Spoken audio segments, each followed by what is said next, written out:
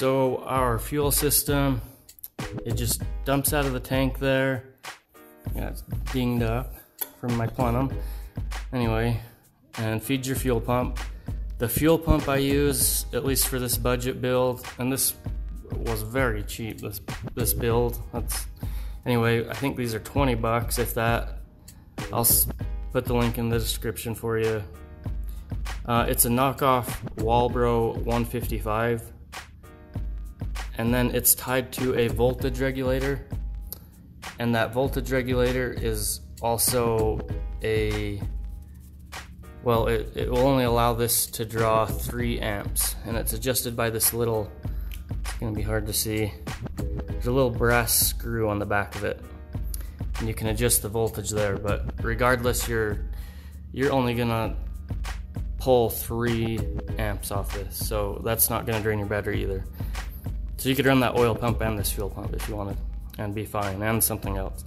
But I think I'm only running like 6 volts. You only need PSI to be about 2 to 3 PSI over the boost you're going to run. So if you're going to run 20 pounds of boost, you need about 23 PSI of fuel um, capable. So then this pumps up back here and it pumps into a fuel pressure regulator. So you set that with this piece here, just turning it and loosening it, and it feeds the carburetor through the filter and into the carburetor.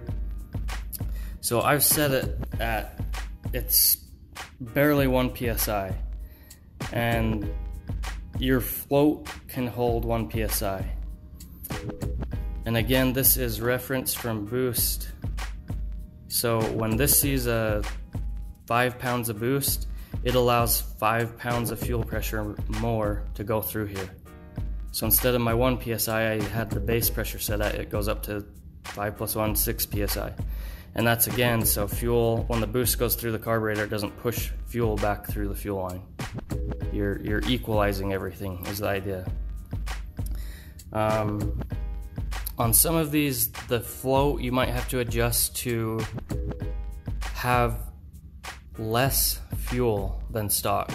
And that's just because the pressure from the fuel pump can put a little, obviously, a little pressure on the float and might might bend it a little more than regular when it's just in operation. So you don't want to, um, you know, kind of flood the system by having a little fuel come up into the carb and get everywhere. But this carburetor I didn't touch, and and then the bottom of your regulator here, that is a return line, and so it returns to the fuel tank. And it returns to the top right up here is where I've got it. But I've just welded in a nipple there that it hooks to. You need to return to the top of the fuel tank. Otherwise you're going to be fighting the pressure this fuel has from gravity coming down. If you hook a line just a hose coming out of the bottom of this fuel tank with this full and hook a, a pressure gauge to it you'll probably see like 3 psi so return to the top.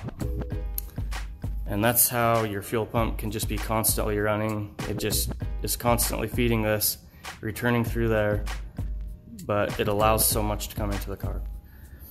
So there's your fuel system, and I think you're good to go on that. Uh, tuning, I have welded into my exhaust a, you can actually see it right there, that bung I had a wideband O2 sensor and then ran to a PLX device that can Bluetooth to my phone so I can read air fuel gauges and data log it. Um, I can link that device in the description too. But once I was comfortable with where the air fuel ratios were, um, I took out the wideband sensor and that little device because now I don't need it. I adjust the power jet if it gets cold or hot, um, maybe a quarter of a turn. You know, if it's a hot day down at the dunes, I'll, I'll open it a hair more, but if it's normal temperature, a little colder, I'll close it a little bit. But typically it's halfway to three fourths of the way open. So not much adjustment. And got all I run's a simple boost gauge, attack, and a button little switch for my fuel pump, and a key for the e-start. Um, but yeah, guys, it's they're really not that hard. It helps if you can fabricate and have some metal laying around because that really makes it a budget build. Um, rideability, a couple people have asked.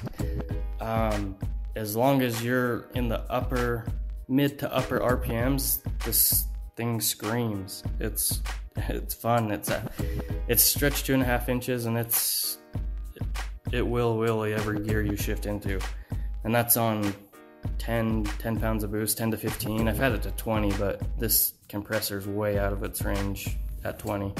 I don't even think it likes more than 10. But we are going with a, a new Garrett GT1238. Um, that's gonna open up the exhaust a lot more. The compressor's a little bigger, but with that exhaust opened up more, um, we'll have better bottom end as well. So, and I do have some riding video finally. My GoPro broke, but I've got this DJI Osmo Mobile 2 gimbal thing, and I tried holding it while riding, so it is shaky, but at least you can see what it sounds like and feels like. And I'll put that on another video. But uh, check out all the videos on on this YouTube channel, I guess. It's Utah Sand Outlaws channel. I think the channel's called Turbocharged, but check out all our racing videos. We have races for the ATC 70s, um, not just drag races, barrel races, Formula off-road races. Um, and then we will do like a, a race a third of the way up the face. Um, lots of cool guys on there. So yeah, guys, let me know if you have questions in the comments or or what have you. You're ugly. You are disgusting. I'm going to kill you. Give me $200.